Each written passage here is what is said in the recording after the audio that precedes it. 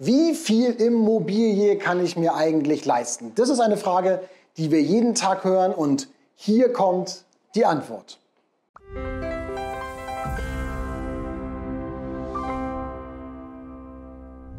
Mein Name ist Björn Scheer, herzlich willkommen zu diesem Video und jetzt erkläre ich euch, worauf ihr achten müsst. Punkt 1 ist, es gibt zwei Arten von Budgets, was viele nämlich vergessen.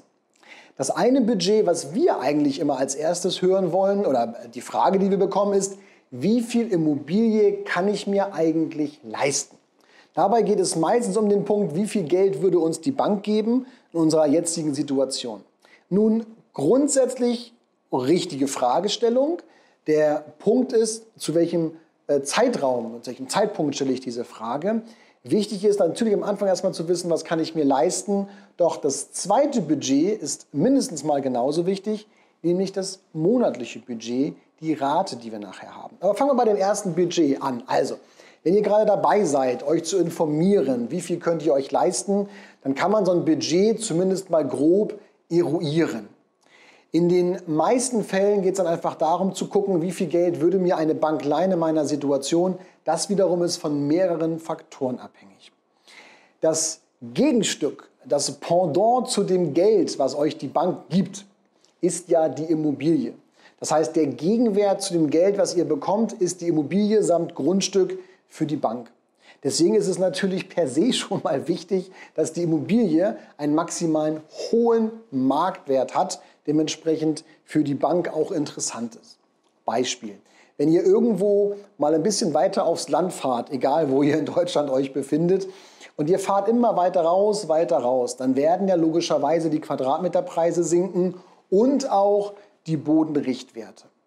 Wenn wir jetzt einen Bodenrichtwert haben, zum Beispiel von 100 Euro den Quadratmeter, und ihr wollt euch dort ein Grundstück kaufen von 1000 Quadratmetern, dann wären das ja dementsprechend 100.000 Euro, die das Grundstück an Wert hat. Wenn jetzt der Verkäufer 200.000 Euro für dieses Grundstück haben möchte, dann möchte er ja eigentlich doppelt so viel haben, wie der Bodenrichtwert erstmal hergibt. Das ist für die Bank natürlich eine Herausforderung. Warum ist es eine Herausforderung? Weil sie euch viel, viel mehr Geld geben würde, als sie als Sicherheit, als Gegenwert bekäme. Und wie tickt die Bank? Einfach nur fürs Verständnis. Die Bank guckt natürlich immer, also natürlich, so natürlich ist es gar nicht, aber die Bank guckt, was ist der Worst Case? Und der Worst Case ist, ihr könnt die Rate für diese Finanzierung nicht mehr bezahlen und die Bank müsste das Grundstück, die Immobilie, whatever, in die Zwangsversteigerung geben. Im schlimmsten Fall rechnen Sie dort mit 50 Prozent des Marktwertes. Heißt also folgendes, ihr bekommt 200.000 Euro, habt einen Wert von 100.000 und die Bank rechnet im schlimmsten Fall mit 50 Prozent, sprich 50.000, was sie im Worst Case bekäme. Und da seht ihr schon den ersten Punkt, warum es so wichtig ist, dass der Wert der Immobilie optimalerweise auch zu dem Marktwert passt, also den Gegenwert, den ihr der Bank gebt. Weil wenn ihr 50.000 Euro im Worst Case noch an Wert habt, aber 200.000 Euro bekommen, dann wird die Bank damit nicht d'accord gehen. Also, ist jetzt ein bisschen einfach dargestelltes Beispiel, aber wichtig ist, der Wert der Immobilie muss zur Finanzierung passen. Das ist beispielsweise ähm, heutzutage ein wichtiger Punkt, weil ja momentan die Nachfrage wesentlich höher als das Angebot ist. Und deswegen sind ja die Immobilienpreise auf so einem, auf so einem Peak, auf so einem Maximum, wo sie sich gerade bewegen. Und das ist natürlich auch, das, das haben wir tagtäglich die Herausforderung in manchen Fällen, dass einfach die, die Kaufpreise viel, viel höher sind, ob das Grundstück oder mit Häusern drauf, erstmal egal. Aber dass die Preise natürlich viel, viel höher sind, als der Marktwert widerspiegelt. Wie kann man das ausgleichen? Natürlich zum Beispiel durch Eigenkapital.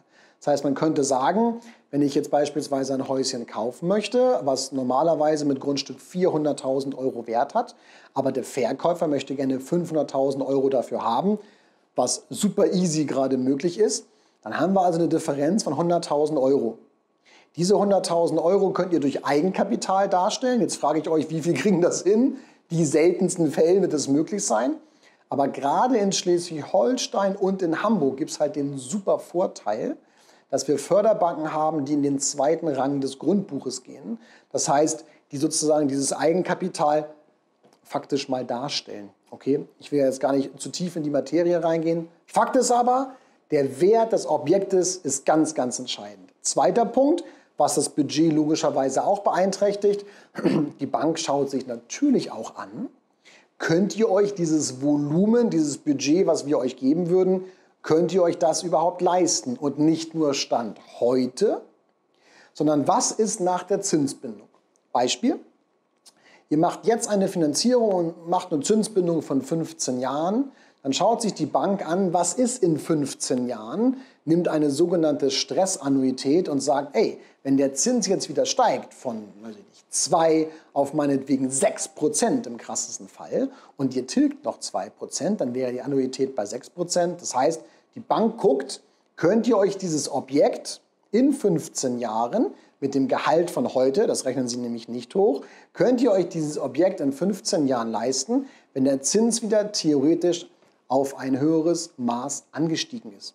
Habt ihr dort eine Unterdeckung, muss man das ausgleichen. So fallen schon mal viele Banken raus.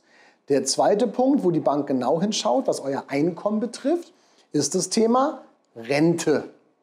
Heißt, die Bank ist verpflichtet, wenn ihr in die Rentenphase hineinfinanziert, zu schauen, könnt ihr euch die Finanzierung auch in der Rentenphase noch leisten.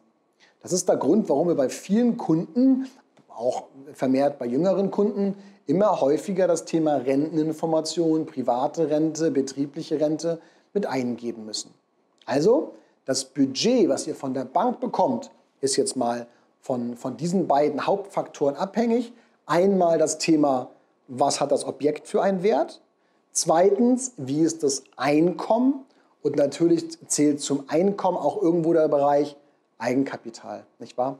Wie viel Eigenkapital bringt ihr mit? Wie viel Eigenleistung macht ihr an dem Haus selber? Verlegt ihr Böden? Streicht ihr die Wände? Baut ihr das Dach aus? Was macht ihr selber? Denn Eigenleistung ist in den meisten Fällen wie Eigenkapital anzusehen. Okay? Also einmal das Budget, was gibt dir die Bank? Da kann ich euch empfehlen, klickt mal bei uns rein in den Budgetrechner. Den Link packe ich euch entweder unten rein oder hier ins Video und guckt doch einfach mal auf unserer Seite innerhalb von 10 Sekunden, indem ihr so zwei, drei Sachen eingebt, wie viel Budget bekommt ihr überhaupt und was würde euch die, die Bank als Budget, als Volumen zur Verfügung stellen. Das viel, viel wichtigere Budget ist aber das zweite, nämlich das Budget der monatlichen Rate. Wisst ihr, aus meiner Erfahrung ist es relativ simpel. Ihr werdet den Kaufpreis vielleicht nicht, aber ich zum Beispiel weiß aktuell gar nicht mehr, was ich von Zins bei mir zu Hause habe, wenn ich ehrlich bin. Also ihr werdet viele Dinge der Finanzierung vergessen. Eine Sache verspreche ich euch, die werdet ihr niemals vergessen, weil ihr nämlich jeden Monat daran erinnert werdet. Das ist die Rate. Und die Rate geht jeden Monat von eurem Konto ab. Und das tut entweder weh oder es tut nicht weh. Deswegen sage ich immer, der limitierende Faktor bei einer Finanzierung ist nicht der Zins, die Zinsbindung und so weiter und so fort, sondern per se ist es primär mal das Budget, was wir zur Verfügung haben, was das Einkommen betrifft. Wir dürfen nicht vergessen, dass in den meisten Fällen, gerade wenn jung gekauft wird, das Thema Elternzeit noch eine Rolle spielt, vielleicht einmal, vielleicht zweimal, drei oder viermal, fünfmal, das bleibt ja jedem selber überlassen. Also von daher könnt ihr ja so viele Kinder bekommen, wie ihr wollt. Wir dürfen nur nicht vergessen, dass wir das mit einplanen bei euch in die Budgetplanung von der monatlichen Rate. Also wie viel Immobilie kann ich mir leisten, ist auch davon abhängig, was habe ich von Einkommen, von Haushaltsnettoeinkommen, was habe ich für Ausgaben und was für Veränderungen sind vielleicht zu erwarten in den nächsten 30, 40 Jahren, 20, 25, je nachdem, wie lange so ein Haus abbezahlen wollt. Was kommt da eigentlich auf uns zu und ähm, worauf müssen wir achten? Ich habe letztens einen Fall gehabt, ähm, da war es eben genau so, Pärchen, noch keine Kinder, sind jetzt so ein bisschen dabei, dann kann man zum Beispiel so eine Elternzeit wunderbar durch so einen Tilgungssatzwechsel ausgleichen, indem man guckt, ich gehe jetzt vielleicht von 3%, die ich jetzt habe, runter auf 2%, spare mir ein bisschen an Tilgung nachher bei der Bank und kann somit die Elternzeit schon mal gut ähm, überbrücken. Also schaut unbedingt, wenn es um das Thema Budget geht, wenn es um das Thema, wie viel Immobilie kann ich mir eigentlich leisten geht, schaut nicht nur darauf, wie viel Geld würde euch die Bank geben, was oftmals viel mehr ist, als euch nämlich gut tut. Zweiter Punkt nämlich, schaut unbedingt darauf, wie viel könnt ihr euch leisten, wie viel wollt ihr euch leisten und sucht euch jemanden, so wie ich, der euch auch genau erklärt, was es bedeutet, ähm, wenn Veränderungen eintreten. Ja? Dass man reinschaut ins Vertragswesen, dass man schaut, welche Bank macht einen Tilgungssatzwechsel und, und, und. Es gibt mehrere Möglichkeiten, darauf hinzuarbeiten. Aber ganz wichtiger Punkt, achtet unbedingt auf die monatliche Rate, weil an die werdet ihr immer wieder erinnert, wenn es darum geht, die Finanzierung im Auge zu haben. Das sind meine beiden Tipps, die ich für euch habe. Also einmal, wenn es darum geht, wie viel Häuschen kann ich mir leisten. Auf der einen Seite das Thema Gesamtvolumen, was bekomme ich von der Bank. Da ist wichtig zu gucken, dass der Gegenwert möglichst optimal ist. Wie ist eure Einkommenssituation und was bringt ihr an Eigenkapital, Eigenleistung mit rein in die Finanzierung? Also das Konzept ist entscheidend. Und bei der, bei der zweiten Seite der Medaille sozusagen ist das Thema Einkommen wichtig, dass die Rate an die Bank wunderbar reinpasst in eure Lebenssituation und die zu erwartende Lebenssituation. Und vergesst dabei bitte auch nicht das Thema Nebenkosten. 2 bis 2,50 Euro pro Quadratmeter Wohnfläche an Nebenkosten einzukalkulieren. Wenn ihr Hilfe dabei braucht, entweder klickt auf meine Seite, schaut euch die verschiedenen Rechner an, die wir dort haben. Da könnt ihr wunderbar schnell rausbekommen, wie viel Budget, wie hoch ist die Rate, wie ist der Zins. Klickt da einfach mal rein, wie gesagt. Auf der anderen Seite, wenn ihr Hilfe braucht, um das Budget mal wirklich konkret für euch zu finden, nutzt unsere Möglichkeit, euch anzulegen bei uns im System. Innerhalb von 24 Stunden bekommt ihr eine Antwort mit einem Finanzierungsvorschlag, der konkret auf eure Situation zugeschnitten ist. Wir helfen euch gerne.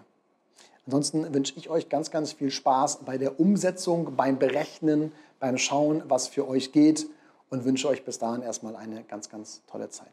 Liebe Grüße aus Hamburg, euer Björn. Ciao, ciao. Vielen Dank, dass du dir dieses Video angeschaut hast. Ich habe dir bereits hier auf der rechten Seite ein neues Video reingestellt, was ideal darauf aufbaut, auf dem, was du gerade gesehen hast.